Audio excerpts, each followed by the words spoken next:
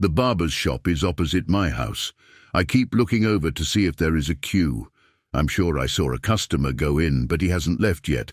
Maybe he went out the back, if there is a back. I decided to chance it, and I got lucky. Only the barber was there.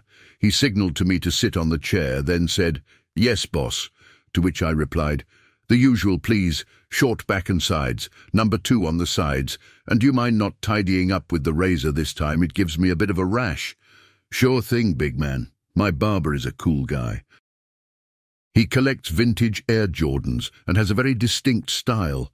He always calls me Big Man, even though I'm five foot four. However, we quickly run out of things to talk about. Sometimes I pretend I have work to do, and I look at my phone. This is how I'm typing this up now, as he cuts my hair. Big man, you're looking pretty strong. Have you been working out? Not going to lie, I like the look of those muscles. Yeah, I've got a personal trainer now. Thanks for noticing. This was the first compliment he paid me today. He holds my ear back to trim around it. His hands are cold. And I've never noticed your eyes before. Such a nice blue. Thank you. That last comment jarred a bit. Was he getting fresh with me?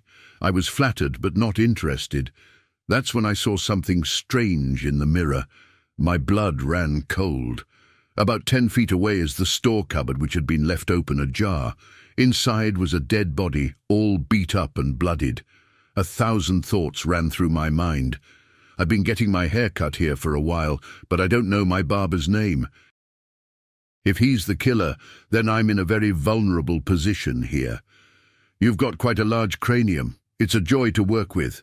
Must be some serious brains in there. Thank you. Yeah, I've been told I'm quite smart. I decided the best thing to do would be to pretend I hadn't noticed. Just let him finish the cut and then leave. I tried to look straight ahead and not to the corner of the mirror from which the body was visible, but my eyes were ineluctably drawn to it. I could now see the body was wearing a pair of classic Air Jordans. I made eye contact with the barber. He blinked, but it was a strange blink, almost like the eyelids were coming in from the sides instead of top and bottom. He's almost finished now. Even though I asked for him not to, he's grabbing the razor. Please, no razor. It gives me a rash. Sorry, big man. This is how it has to be. I better post this now, in case I don't make it.